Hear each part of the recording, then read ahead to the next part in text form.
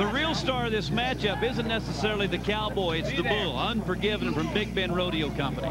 Yeah, this is a, this is an awesome bull, but you know Brendon Clark is a guy that I think can be a star, and you know he's, he's got a great personality. I think he's got a lot of ability. You know, I just think he's, he's underachieved when he's got to this tour. But this guy here, he can do it. Open that bull. You know, just seems to have just seems to have problems on bulls that, that go away from his hand. You know, he made a nice nice ride on his first bull, but you know that bull's a lot bigger, a lot stronger, a lot ranker, and you know he just he needs to mature just a little bit more as a rider. Just needs to be just a little bit looser, and you know just doesn't even get in the vicinity getting around the corner there.